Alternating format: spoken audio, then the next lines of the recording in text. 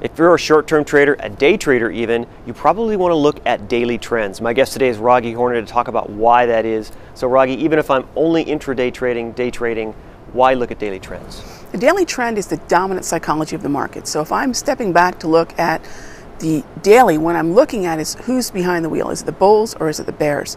When people talk about counter trend trading or being a contrarian, we have to use one time frame to say, this is the dominant psychology in the market. So for me, that's the daily. It's the most psychologically relevant time frame. Doesn't mean I'm going to trade it, but it does mean I want to know what the trend is. A good rule of thumb for me is don't trade any symbol. I don't care if it's futures, forex, or stocks that has a non-trending daily time frame. Now for me, I'm going to go intraday. I might look at the 5, 15, 30, 60, or 240 minute time frames. If I'm going to follow the trend that's on the daily, I can do so in any one of those time frames. But if I'm going to trade counter trend, I want to stay nimble, and I kind of associate that with uh, the river's flowing, you know, downriver. I can only go against the river for so long. I can only go upstream or against that current. I'm going to exhaust at some point.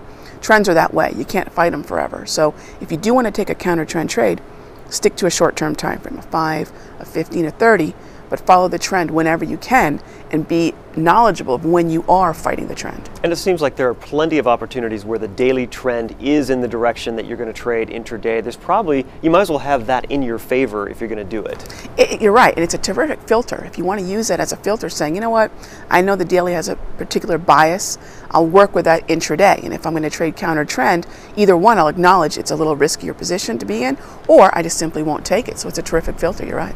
And for the spot markets, which trades 24 hours, five and a half days, what is a daily chart for that? Is it is it 24 hours? You know, it's, it's funny because we're kind of imposing a daily candle on this on this market, so it's GMT. So they're basically you're working on a London clock. And Raghee, uh, when we talk about a daily trend, do I want to see something for a month, six months, the longer the better? What do you think? The longer the better, because the longer something's been trending higher, the more the market participants on a whole agree that the bulls are in control and agree that we can bust up to higher highs and maintain higher lows.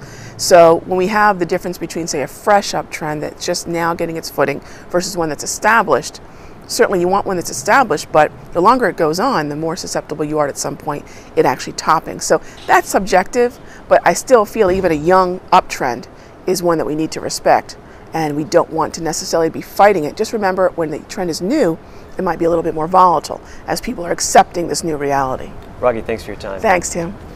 You're watching the MoneyShow.com video network.